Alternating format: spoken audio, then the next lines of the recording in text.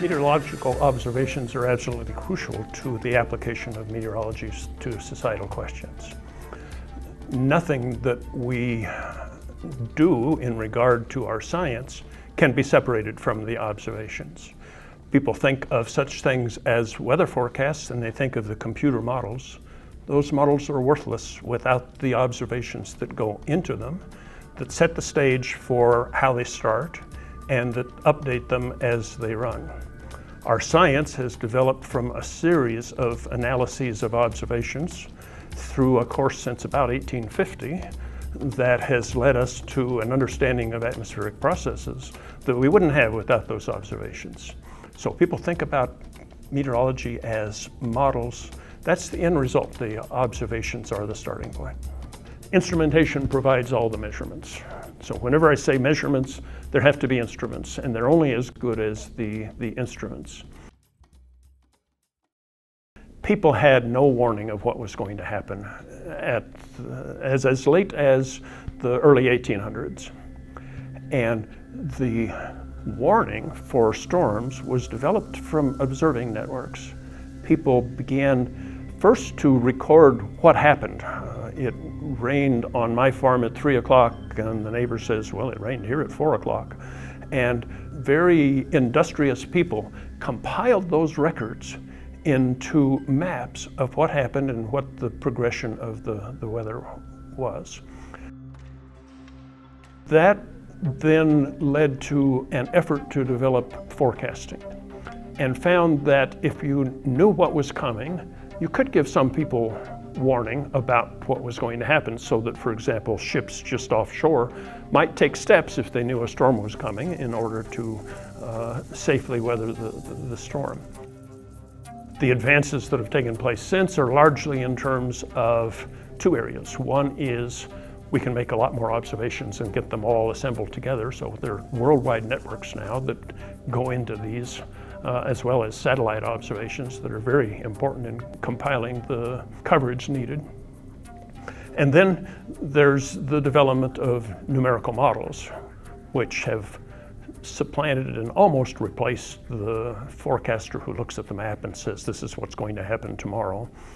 Forecasters still do that, but they do that with much hesitation if they're going against the model because the models have gotten really good. Uh, so, so that is an evolution that I think has led us to our current state.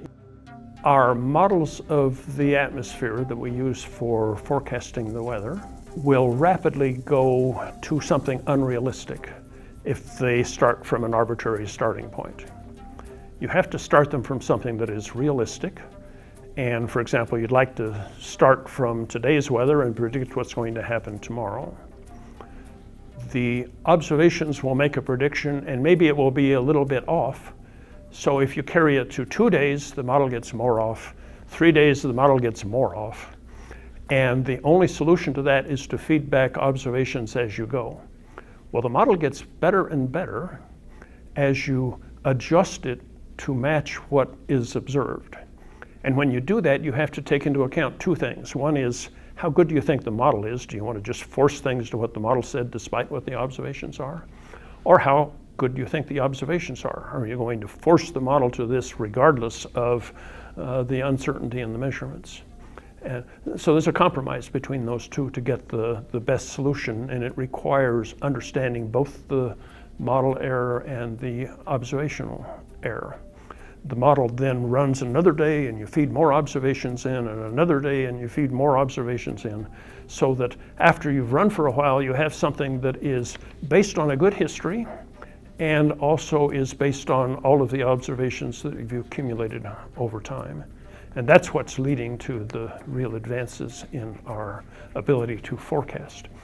The idea that I can have a pretty good idea that it's going to be maybe a little cloudy this afternoon and then rain tomorrow is just mind-boggling in many ways. Uh, it re represents a tremendous advance in our understanding, and people like to be, be skeptical about, oh, the weather forecasts, they, they missed it, they don't know what's going on actually they are doing a remarkable job in terms of predicting what's going to happen, and the few misses are, can be dramatic and catch people's attention, and there's room for improvement.